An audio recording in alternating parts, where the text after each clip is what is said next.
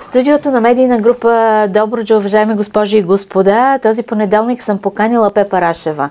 Тя е организатор на четвъртък пазар или фермерския пазар, както го опознаваме вече в Добрич.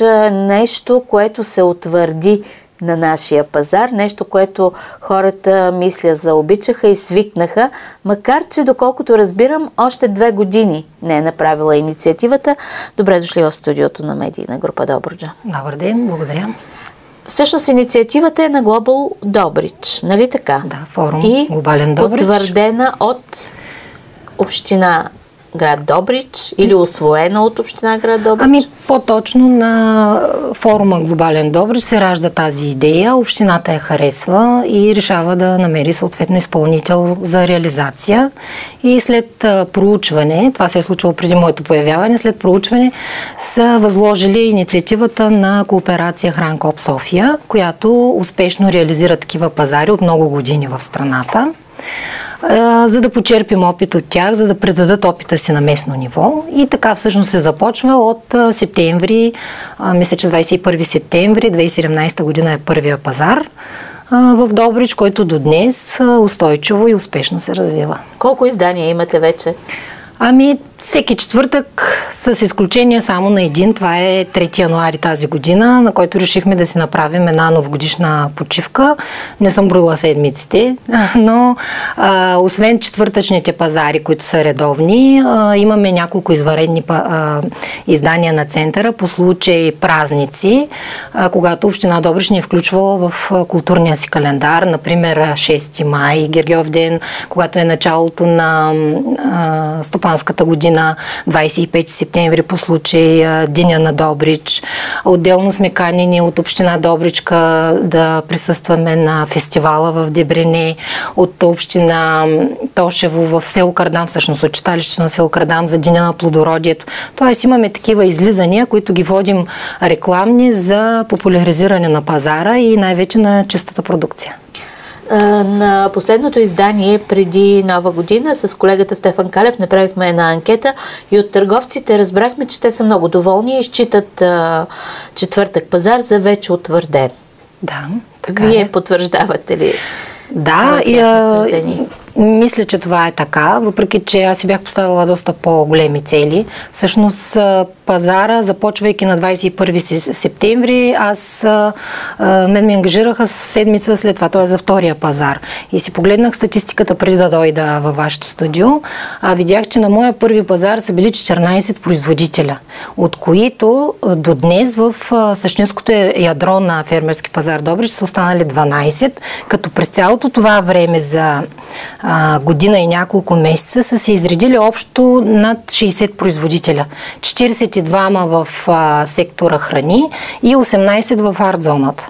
Това са производители, някои от тях, които са идвали за извънредните издания от а, други части на страната, на които им е трудно да присъстват постоянно. Някои са се пробвали дали, дали това е тяхното място за реализация от близки, да речем, области, но като цяло пазара се е удвоил и в момента а, редовно се явяват между 25 и 30 производителя, като а, не в едно и също време. Т.е. понякога може да са 20, може са 18, но общо са 30, т.е. отвоили сме пазара за една година, които са одобрили този пазар като място за реализация на тяхната продукция. А, като място на самия пазар затвърдихте старият да. Добрич до часовниковата кула. Всъщност, Зимата, а лятото да. бяхме под дърветата на стария Добрич в централната уличка. Но имахте и изнесени да. а, пазарни дни. А, къде се оказа най-удачно? Там ли си е мястото на... Ами, от една пазар? страна а, всяко едно място се развива. Като всеки един бизнес, избираш си място, ти трябва да го развиеш и минава много време, докато това място се утвърди. Ние в момента това място сме го утвърдили. Но всички изнесени пазари до момента са по-успешни като човекопоток и като оборот от да. Стария Добрич. Сега аз не знам дали това е защото е било празнични дни, т.е. това трябва да се провери. Може би а, трябва да направим няколко рекламни такива допълнителни пазари на центъра в делнични дни, за да проверим кое място е по-удобно за потребителите. Защото може да се окаже, че на пътеката на потребителя е по-лесно за, за тях самите, отколкото да ги отклоняваме. Въпреки, че на нас много ни харесва Стария Добрич, там е малко по-трудничко за работа, но пък е тематично място, красиво, просто сме точно като е, на мястото си. Така. Освен, че търговците твърдят, че пазарът е утвърден.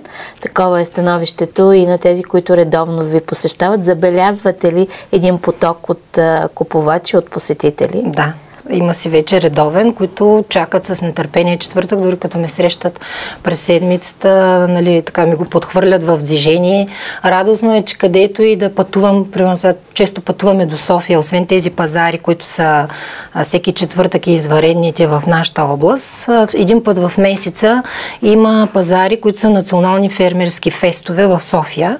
А, столична община ни е включила кооперацията в културния календар на общината и е възложила всеки месец да се прави по един такъв национален фермерски фестивал, където пазар Добрич вече четвърто участие имаме от а, септември миналата година. И в тези пътувания често се случва да срещна хора от Добрич и там, и по пътя. И когато спомена за, за фермерски пазар Добрич, всички са възхитени, което много ме радва. Тоест, потребителите са доволни. Може би за това предприемате и различни инициативи с търговци, да. С собственици на ресторанти? А, да, за инициативите, примерно Богдан Богдев, искам да спомена, който е председател на Сдружението на доброжънците, предполагам е гостувал и тук. А, с него правихме няколко издания на кухня на живо от пазара където се представят рецепти с сезонните продукти, които се закупуват от фермерите. Това всичко е публикувано на страницата на Фермерски пазар Добрич в секцията видеоклипове. Там има, освен на кухнята на живо, кратки видеоматериали с това как се работи по фермите. Аз съм правила поредица от видеоклипове за работата на място. Посещавала съм а, няколко, за съжаление не съм успяла всички, но нали, те първа предстои няколко от нашите производители и съм направила кратки документални филми с тяхната работа, за да имат представа потребителите какво се случва преди да видят стоката да, на Да, определено имате добра информираност към и нашите слушатели също редовно разбират кой ще бъде новия гост. А, има ли а, храни, стоки, които се утвърдиха на пазара и прави впечатление, че идват да, да търсят да. такива храни? Това са и млечните, и местните, почти всички сектори а, са, са утвърдени, но най-вече, разбира се, хората търсят зърнени, млечни, местни, а, готови храни търсят. Малко ни липсва този сектор с а, готовата продукция, която е а, изготвена от продукти, които също са от пазара. Тоест, ние правим един вътрешен кръг. Ако някой произвежда, да речем, а, какво да речем баница или пък а, а, нещо, което изисква брашно. А, домашни сладки. Да, домашни сладки. Той си закупува нужните продукти за това от а, пазара. Много често вместо захар се използва мед. Да. А, и така. Всъщност медните штандове, штандовете с мед са на всек, да. всяко издание. Да, те са и, и си имат трайно потребление, което се покачва. Тоест, въпреки, че са най-много от всички, много се купува, защото при нас много наблягаме на информираността. Един клиент, преди да си купи нещо, много често се провеждат много дълги разговори, в които производителя разказва той какво прави, как го прави, дава, дава съвети. И това се харесва много. Създава се една такава а, нетипично търговска а, атмосфера на пазара. По-скоро хората идват като че ли да пазаруват и да се забавляват. Даже сме направили кът с маса за клиенти, а, за, закупили сме печка газова, да могат да се спрат, да си пинат греено вино, да си поприказват. Тоест искаме да бъде малко като от а, едно време нали, на Мегдана. Да. А, така, раздумка на Мегдана. Има ли нещо, което искате да разкриете в началото на тази година за времето, което предстои? Ами, на мене ми се иска да успея да покажа работата на всички ферми, а, това, което е зад а, как се казва, зад кадър. Това, което да. се случва по места, за да имат, а, въпреки че работата на на, на този вид пазари, фермерските пазари, е късата верига. Т.е. лично производителя към потребителя. Да. Въпреки това, на мене ми се иска да разкрием тайни от а, работата по фермите. Едно от условието да се присъства на фермерски пазар е фермата ти да е отворена, да може да се посети с ученици, да може да се посети от група производители. Ние си имаме такава група, наречена група за контрол на производителите и продуктите, която е от смесен тип производители и потребители потребители, която на място, да речем, отива, разглежда как се работи, задава въпроси. А, и... Децентрализация на пазарната дейност, така ли? Ами... Нещо такова. Всеки пазар си има такава, да. всеки си определя. Ние също се разменяме. Даже с колегите си говорим, че е време да се разменим, т.е. екип от София, да речем, да дойде тук да работи с нашия пазар, аз да отида в София и така да, да си обменим опит. А, удовлетворява ли ви тази дейност? Мен Носи ли ви признание? Да, да, мен лично да, защото от 20 на 20 години, може би, 98, значи 21 вече, съм в сферата с а, профилактика и лечение на здравето чрез храни, хранителни добавки, супер храни. Просто така живота ми се стече 97-8 година покрай сина ми, че стигнах до тази тема.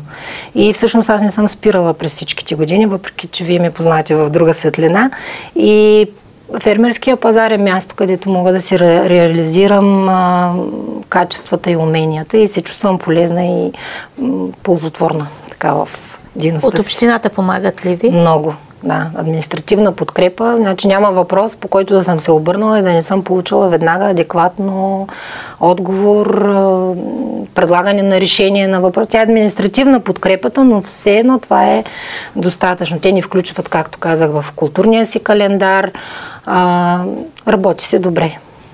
Когато има съвместност, желание в една посока да се направи нещо, добронамереност, нещата се случват. И благодаря на медиите.